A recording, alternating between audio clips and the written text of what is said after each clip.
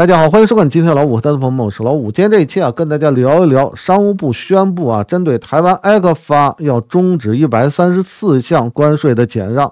这个新闻该怎么看？我相信很多同学第一反应就是不够，然后软弱。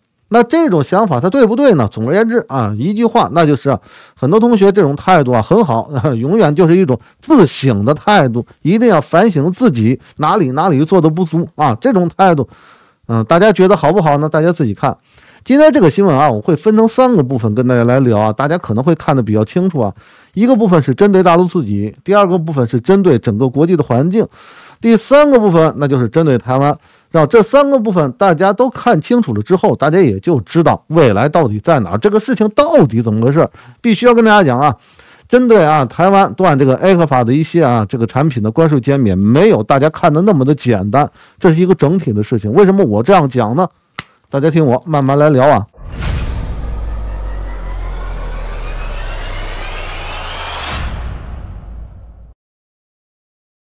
首先跟大家聊一下国台办对于这个事情的一个反应啊，我觉得非常的有意思啊。国台办啊，这个新闻发言人啊陈斌华指出啊，埃克法是两岸。双方在“九二共识”的共同政治基础上签署的，实施中如产生问题，可通过两岸协商予以妥善解决。但赖清德当局啊，这个顽固坚持台独立场，拒不承认“九二共识”，大肆宣扬台独分裂谬论。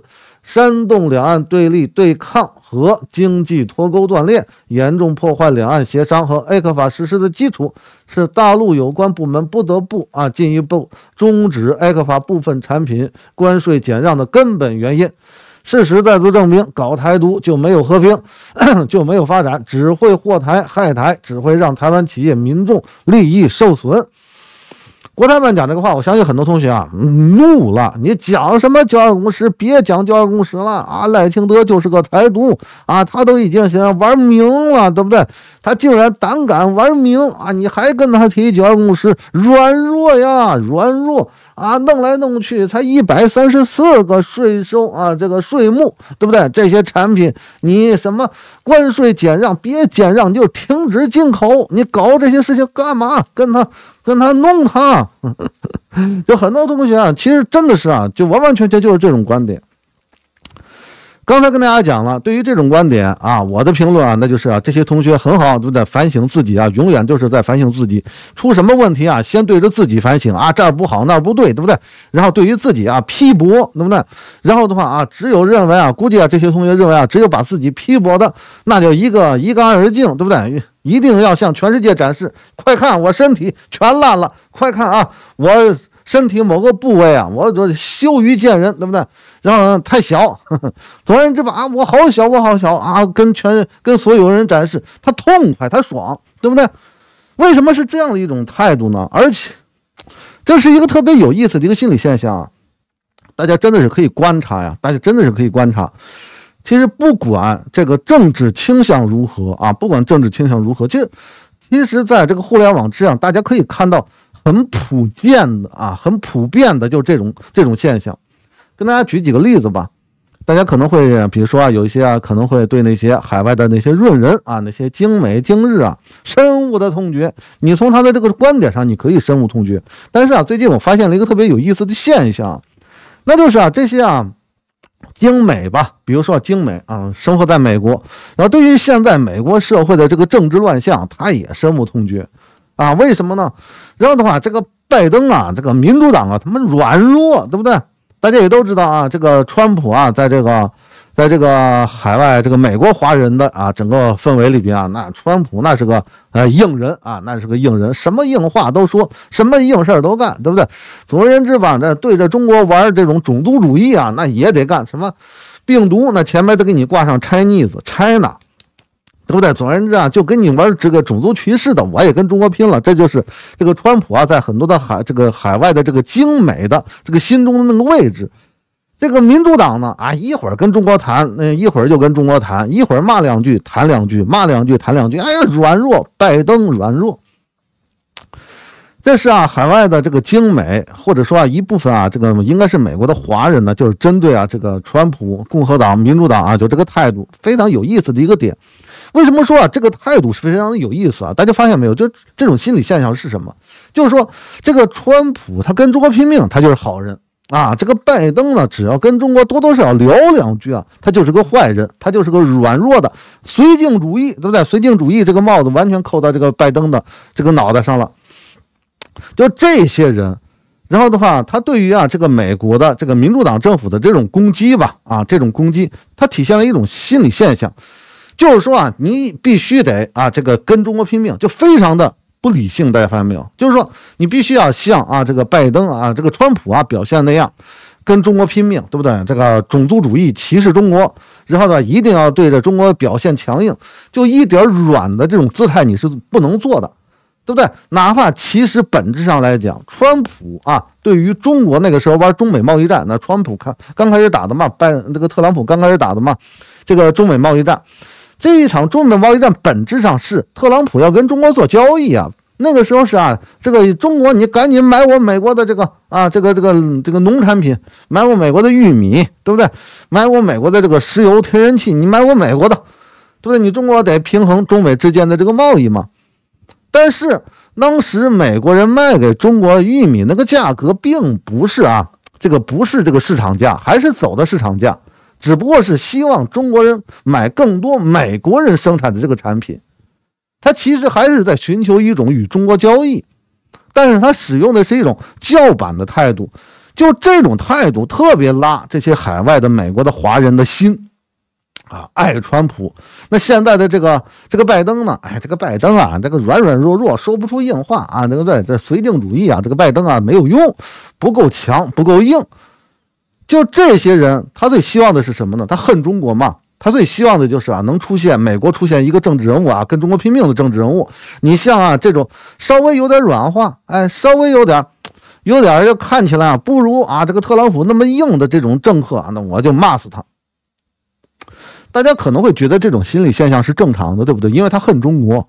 我跟各位讲，这一点都不正常。为什么呢？你恨中国，按照常理而言，应该是美国赢，你才能够，对不对？达成自己心中那个愿望。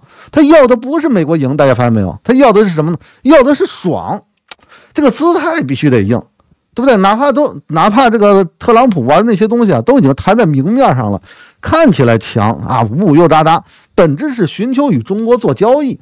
其实民主党在某些地方，那真的是寻求要跟中国脱钩断链呢。那比特朗普那些玩的东西啊，其实本质上更坏，对不对？但是想要跟中国脱钩断裂，成功不了。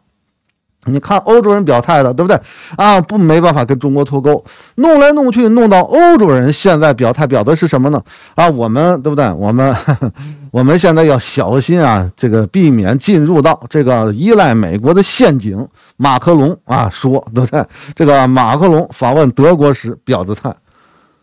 对不对？美国人搞了半天啊，这个民主党搞了半天，搞出这样的一个结果。但是本质上，民主党是想要玩这个啊，与中国脱钩，什么后来一直玩到了对中国降依赖，一直是想要玩这些东西的。但是实力不济，对不对？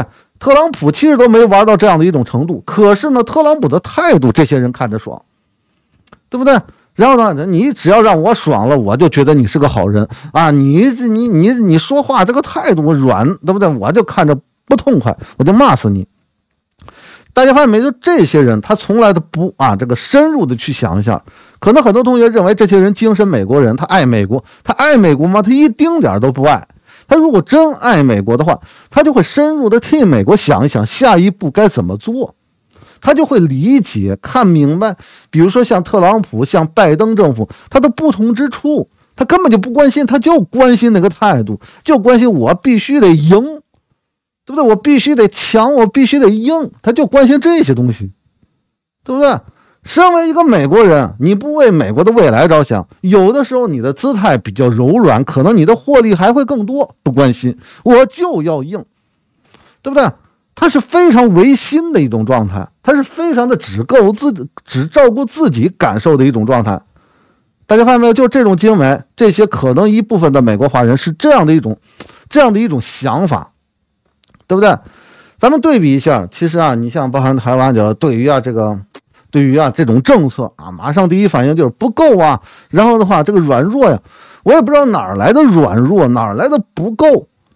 对不对？看明白为什么会出现这种政策，深入的往前去看一步，不要跟那些对不对脑残的精精美一样，对不对？不要跟这些人一样，只顾自己爽，根本就不关心他心中的祖国美国的未来，对？就天天的在那喊，就非得要强要硬的，根本就不看本质，往前去想一步都不想。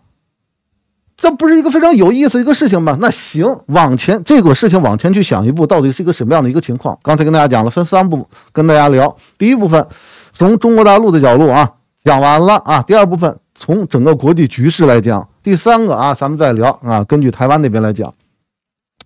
然后第二部分啊，这个国际局势啊，国际局势咱们看一看啊，最近发生了什么样的事情？啊，中阿的联合声明出来了，对不对？中国与埃及的联合声明出来了，这是哪儿？这是这是中东啊，这是西亚呀。西亚有这样的联合声明，东亚呢？中日韩三国联合声明，对不对？然后的话，那最近一直在跟大家聊欧亚一体化，再看像欧洲，这个法德德法的联合声明也出来了，都是这几天的事儿。这个世界正在发生什么样的改变，还看不见吗？对不对？这个中日韩三国联声联合声明，最少最少也是中日韩三国自贸区要加快要谈判了。经济上，这东亚三国要绑在一起，对不对？那这个中国跟阿拉伯阿拉伯的这个联合声明呢？那同样呢，更更夸张，对不对？埃及掌握着苏伊士运河的埃及，跟要跟中国啊要要本币啊这个结算。对不对？现在是本币互换，那未来正在探讨，准备要全面的，对不对？使用本币啊结算贸易，这就是中国与中东的关系啊。法德的联合声明呢？刚才跟大家讲了，马克龙访问德国说的是什么呀？要要啊，要小心，不要进入依赖美国的这个陷阱啊！依赖美国成陷阱了，大家没觉得特别神奇吗？不是说美国人高喊啊降依赖，对中国降依赖，对中国降依赖。你对中国降依赖降了半天，法国人说啊，不能依赖美国。大家大家看看这个世界发生了什么？什么叫亚欧一体化？现在美国也有一个新闻呢，关于俄乌冲突啊，这就是民主党拜登使的一个招啊。俄乌冲突跟台湾有什么关系啊？别着急啊，这是整个国际的一个局势啊。这是啊，拜登啊，准备啊，这个是美国的这个官员啊，私下放出消息啊，拜登已经允许了这个乌克兰使用美国的武器啊，攻击这个俄罗斯境内的目标。俄罗斯那边普京刚说完，你敢谁敢允许啊？这个乌克兰使用你的武器攻击我俄罗斯的话，那这场冲突啊，咱们就打大了，对不对？要不要打呢？拜登告诉了答案，我就要打大。那为什么拜登要啊要让俄乌冲突扩大化，要让欧洲这场战争扩大化？刚才跟大家讲了，法德的联合声明看到了吧？法国人在那说啊，避免进入依赖美国的这个这个陷阱。那美国人态度就是，你不想依赖我美国是吧？那我就用这场战争，我让你依赖我。为什么呢？因为欧洲人害怕俄国人呐，对不对？欧洲人传统就怕俄国人。如果俄乌冲突打大了，不仅仅是在乌克兰打了，也要去什么这个这个东欧一些国家去打了，那真的是打开了打大了。那美那欧洲这些国家，一啊一失去了安全感，那怎么办呢？就得紧的紧密的抱着这个北约的大腿，抱着美国的大腿嘛。虽然说法国和德国联合声明里边说了啊，我们要有自主性了，我们要打造自己的防御的力量，欧洲自己的防御力量，但是这玩意儿它不是一天能够完成的。现在美国的态度就是什么呢？欧洲，你千万别变心。可是呢，你看起来美国人很聪明，是吧？这牵制欧洲人，你美国牵制欧洲人，对不对？那你美国能够给乌克兰多少武器啊？又得加大亮度供应啊，供应武器给乌克兰。你美国又得花多少钱？又得花多少武器？这还是啊？这还是啊，其中之一。还有另外一点，就是你美国与法国、德国这种国家的关系到底如何？未来会如何呢？我相信大家一目了然了吧？对不对？你想要牵制法国和德国，那行，法国、德国更恨你。你看起来表面，哎呀，咱们是盟友，咱们是同一阵营的，看起来是如此。G 七都要不团结了，这是美国最后的盟友圈，G 七都要不团结了，同学们，对不对？美国人在这个看起来很聪明啊，在欧洲又施加了力度。那美国在欧洲施加力度，那我在我在台湾这儿，我就要必然我要施加力度。这也就是为什么现在中国在什么中阿联合声明、法德联合声明、中日韩三国联合声明出现之后，针对台湾一百三十四项啊，这个这个这个这个项目的这个关税的减免啊减让，我要不减让了，不减让了，台湾你自己受着，开始对台湾施压。前一段时间，在在台湾海峡啊搞军演，对不对？然后在这是军事上的施压，现在呢是经济上的施压，全来了。美国能怎样？美国你现在不是在欧洲使劲呢吗？对不对？你来，你来，来来来，我中国旁边，来台湾这儿，你给我，你给我，给我来来来来劲，我中国很开心。为什么呢？你在台湾这儿啊，或者说在南海这儿使劲的话，欧洲那边就会减压，对不对？法德就会更加的团结。法德一团结，美国就去欧洲；美国一去欧洲，我这边给台湾使劲。现在的这样的一种世界的格局，大家明白为什么现在中国大陆要做这种事情了吧？对台湾施压，无论是经济的还是军事的，都是同时在施压的一种状态，对不对？那在台湾施压，美国来不来？来了。欧洲，对不对？欧洲那边，法德，法德，美国去不去？去了。台湾，玩的是谁？大家看明白了吗？对不对？这还只是啊世界格局的角度来看，然后咱们从啊台湾内部的角度来看呢，从这个世界格局的这个角度来看，大家其实都可以判断这个未来的未来的趋势。亚欧一体化它不可挡不可逆，对不对？让亚洲、欧洲绑定的越来越紧密，哪怕有些国家啊一百万个不情愿，没办法，对不对？这是唯一的活路啊，为师必去，对不对？这这四个字放在很多地方，大家都可以想得明白，对不对？有些国家不情愿、不愿意啊，跟中国走在一起，比如像日本、韩国，对不对？不愿意走，但是不愿意是吧？不愿意，你自己选择那条死路，你自己承担呀。你不想走那条死路，给你一条活路，对不对？中日韩领导人峰会，中日韩三国的三国联合声明，经济上绑定，要不要呢？哈哈，对不对？总而言之吧，就算不情愿，为师必去，对谁都是如此，对台湾岛同样也是如此啊。对不对？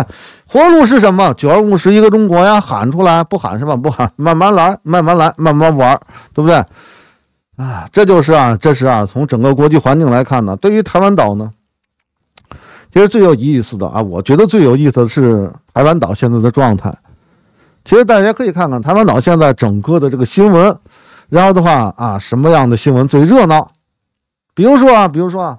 台湾的立法会啊，因为什么事又吵起来了呢？啊，因为什么穿西装，穿西装不穿西装啊？这个穿正装啊，不穿正装啊，吵起来了。民进党啊，我不穿正装啊。这个国民党韩国瑜啊，你得穿正装啊，你得尊重啊，你民进党的这个这个行政院的院长，对不对？然后他要来立法会了，我们穿正装啊，你民进党怎么怎么样？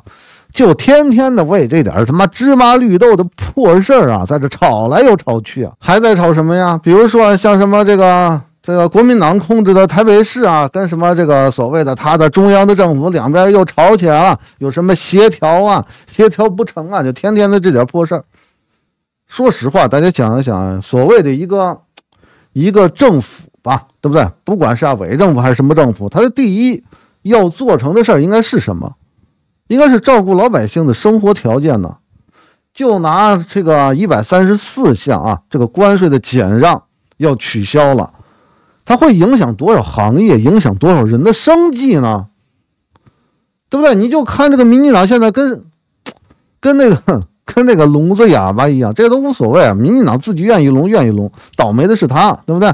啊，现在对着大陆就是啊，我要这个观光行业，我得平等有尊严的啊，跟大陆这个观光，我我我站着跟大陆要钱，我站着把钱挣了，就这种姿态啊。总之嘴特别的硬，然后又想跟大陆交往赚钱，那你现在一百三十四项目全给你断了，你赚不着这个钱，对不对？民进党有他的私心。赖清德有他的私心，因为赖清德要的并不是说台湾人生活变好，赖清德要的是什么？要的是清洗人心呐，洗涤心灵啊，对不对？只有让台湾人支持民进党，这是他要的那个第一目标啊，最少是选票。其次呢，啊，台湾人成为那个工具，跟大陆来谈的时候。也可以啊，向大陆提嘛啊！台湾人百分之八十的人都支持我民进党，你不让我民进党未来管理台湾岛，对不对？台湾人就给你造反，因为台湾人支持我民进党啊！这就是赖清德要的。台湾人生活是好是坏，他根本就不关心，因为台湾的未来就在眼前。刚才跟大家讲了，整个国际的局势都跟大家聊了，对不对？就是这样的一个情况啊。台湾的未来有会发生什么样的改变？民进党根本就不关心，对不对？那国民党呢？国民党也不管，对吧？国民党也不管，反正是我就是跟你折腾啊，糊弄着台湾的老百姓啊，这个得支持我们国民党，跟这个民进党玩党争，在立法院里边玩党争啊，在各种议题玩党争啊，斗。真正民生议题没人理，为什么没人理？这是一刚才跟大家讲了，民进党没民进党不理的原因，是因为民进党有私心，哪怕台湾人生活变差了。赖清德也可以拿这个理由说大陆坏，那只要骂了大陆坏，意识形态敌我对抗就会出现，台湾人就得支持他所谓的民进党。国民党为什么不理啊？因为国民党害怕呀，害怕呀，对不对？你你是不是中共同路人？国民党对不对？国民党特别怕民进党这样折腾他。现在国民党啊，最喜欢表演的就是我自由又民主了，我我才能够代表台湾人呢，对不对？我爱台湾，就国民党最爱展示这一点。可是呢？可是，真正对于台湾人生活最重要的经济，国民党现在也不管了，最多出来跟你酸两句。国民党绝对不会为了台湾的经济在立法院里边跟跟民进党对抗。为什么呢？国民党也不愿意啊，国民党也不愿意做这种事儿啊。为什么？如果说真让台湾人都知道了那个真相，这个真相是我们离开大陆活不了。对不对？我们而且大陆对于我们台湾挺好的，对不对？大陆啊，对台湾提的要求也非常的清晰、简单，也明白，对不对？然后呢，如果这样台湾人明白了，台湾人自己选择去大陆了，谁还支持他国民党啊？必须得经过国民党这一关啊！我国民党带领大家跟民进党拼了，我国民党再带领大家跟跟大陆啊去谈什么永远的维持现状。国民党要的是这个，所以说最真实那个真相，国民党也不讲。这是在干嘛？两边都在骗，对不对？两边都在骗。可是呢，很多同学，我相信啊，可能多多少会有点绝望，对不对啊？这个国民党也骗，民进党也骗，对不对？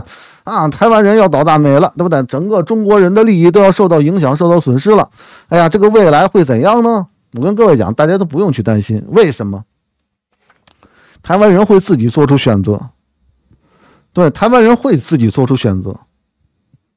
大家一定得相信这个，很多人不相信啊！台湾民进党啊，这去中国化如何如何？我之前就跟大家讲过，你觉得民进党去中国化特别厉害是吧？你怎么不看一看国民党从老蒋到小蒋再到李登辉，一直跟大陆玩意识形态的敌我意识对抗，玩了那么多年，从一九四五年、一九四九年就开始玩，玩到这个陈水扁上台，陈水扁玩去中国化，对不对？反正总而言之，无论是国民党还是民进党，中国大陆都不是人。对不对？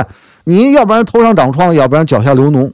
国民党啊，给这个全全体的华人打造的大陆人的那个形象，大家可以参考老香港电影，就那种形象，不是人，你知道吗？野蛮人，你就是那种形象。国民党糟践了中国大陆，糟践那么多年，民进党也糟践啊！你对不对？去中国化，你大陆人不是人，也糟践，糟践到现在，台湾人怎么还是不当兵啊？台湾年轻人怎么还不还是不当兵啊？是因为他这个去中国化啊，这个敌我意识对抗，两岸的敌我意识对抗成功了吗？正好相反，是完全的失败。都在玩这种东西。台湾人不是笨蛋，大家一定得知道，台湾人不是笨蛋。还是得跟大家多讲一句，看那个钟明轩最近讲的那句话，我觉得讲的特别的好。之前跟大家聊过，对不对？周明贤讲的就是说真话的时候，我感觉自己啊自由，对不对？我感到了自由。这句话真的是，其实挺深的，大家知道吗？就真的是挺深的。他比绝，他绝对比一般的啊，就那种台湾的那种小一四五零啊、小绝青啊，就那种真的是啊，这个小脑袋瓜啊，他确实啊够有深度啊，对不对？这个说真话的时候感觉到自由，大家知道这句话深度的地方在哪儿吗？其实，在台湾岛，大家看，就是玩这种意识形态对抗，玩这种党争、党同伐异，就一直在斗争啊。从老蒋、小蒋，对不对？跟大陆啊，这个意识形态啊对抗，你是什么啊？这个邪恶的中国，这个共产中国，我是自由的中国，对不对？然后的话，哇，那个滔滔的赤货啊，这个滚滚的寒流啊，都是你大陆，你老共，你太坏了，对不对？然后的话，反正你就是我的敌人。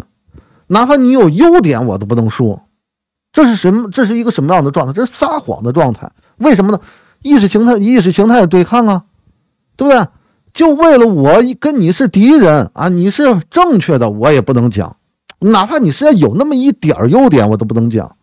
为什么呢？滚滚的赤货，滔滔的寒流啊！为什么？因为我是自由中国，你是邪恶的共产中国呀，对不对？来到了民进党时期，同样也是如此啊！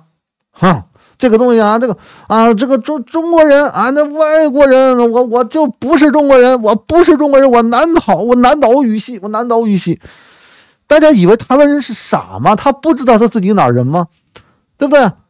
台湾人都不知道自己的祖宗从哪来吗？都知道什么叫张权的克斗、械斗啊？张权的械斗啊，对不对？客家人、漳州人、泉泉州人在台湾岛上打了多少年？他们不知道吗？是缺了心眼还是缺了大德呀？还是我之前跟大家讲的，台湾岛上啊，那个机车、摩托车那个牌、号牌、汽车的牌一大堆，上面那个牌上面有“台湾省”三个字，他不知道台湾省台湾省什么意思吗？啊？中华电视公司、中华邮政、中华航空，对不对？这到底是什么？中国石油、中国电视公司，他们是不懂是吗？啊，不懂那几个字是到底什么意思啊？台湾跟中国没关系。为什么你看到的这个互联网之上的那帮一四五零那帮啊？那帮小孩台湾的小孩特别可爱的那些网友，天天在那跟你嘴硬，在那给你顶，他是把你当敌人，他要赢了你，他哪怕是撒谎，哪怕是使用啊各种各样的话术啊，各种各样的手段，我就要赢了你，我气死你，我恶心死你。大家也就看到了互联网之上的啊那些特别可爱的网友的啊那些形象，对不对？我不是中国人，你是什么这那这的啊，对不对？反正总是说这些。结果你一看台湾岛上边啊，台湾省啊，这个车牌一大堆，哎，你的这个石油啊，加油站，中国石油怎么回事？对不对？你你看，哎，什么中华邮政满大街的，对不对？再看，哎，中国中华电视公司，中国电视公司，你当那帮台湾人傻吗？大家都在撒谎，他们在干嘛？他是他是非常清楚的，都在撒谎，都在骗，对不对？可能这种骗啊，大家认为啊，这个非常的生气。但是对于一个人来说，天天的满脑子是骗人，满脑子是这个为了说一句话，脑子得转十八圈对不对？我一定得坑你一下，我一定得赢了你，非常的累，大家知道吗？天天惦着要坑别人的人，其实非常的累。那怎么样才不累啊？说真话的时候，我才感觉到了自由嘛，对不对？痛痛快快说嘛。啊，我到底从哪来？我们老家就是漳州的，我们老家泉州的，对不对？我们老家厦门的，对不对？我们老家啊，山东过来的，我们老家哪哪哪来的？这是最，这是最简单的真话。可是你放到一般的台湾的现在的网上的那种特别可爱的那些网友来说，真没法讲啊！你说我不知道漳州是哪儿，我不知道泉州是哪儿，中国是哪不知道，对不对？中国大陆，哎，我还非洲大陆呢，天天跟你玩这个，其实这是一个特别累的事情。等到啊，真的是累到一定的、指一定的这个程度，等到这个经济啊，我夸夸的往下去掉，生活都受到了影响，那个时候也就知道自己的未来在哪儿了，那个时候也就会遵从自己的内心，对不对？我来大陆看一看，我觉得我挺热爱这个中华民族的，我就是中华民族。台湾岛上百分之九十多的人都是汉人，对不对？我也是汉人，我说的就是汉语呀，对不对？别叫我什么祖国美人，我是中华美人，对不对？钟明轩，这种话就会出来呀。台湾人开始大踏步的往大陆去走，钟明轩就是一个例子。你国民党、民进党骗你，国民党、民进党啊，在这折腾演戏没有用的。对不对？你代表不了台湾人了。台湾人最关心的经济，你们不关心，你们就失去了代表台湾人的资格，明白吗？你看起来玩得很聪明，民进党，哎呀，台湾人穷了，我也可以带着台湾人恨大陆，对不对？国民党。哎呀，那这个东西啊，不能看，不能看，千万这民进党不能骂我中共同路人，我受不了，对不对？然后的话啊，这个台湾人得支持我国民党，千万不能够让台湾人看到大陆的真相啊，都走去了这大陆啊，这不支持我国民党了，不跟着我国民党走向大陆，那可不行，对不对？这这这这个小心思特别的多，那你小心思越多，你就失去了领导台湾人的那个资格，你也就失去了刚才跟大家讲的，哪怕未来统一跟大陆来谈，告诉大陆有多少多少台湾人支持我，呃，百分之八十的台湾人支持我，百分之七十九十的这个台湾人支持我，你就没这个资格了，宝贝儿，你知道吗？坑死的还是自己呀！这就是台湾的未来，大家真的是睁开眼看一看这个世界吧。台湾的未来会发生什么样的变化吗？啊，哪条路是活路啊？为师必去，只有一条路是活路啊。走不走呢？走不走是台湾自己的选择呀，让台湾人自己选嘛，让民进党、国民党自己选嘛，死路活路，然后你选择哪一条呢？哼，等着看就行了，好吧？今天这期就聊到这儿了，感谢各位啊。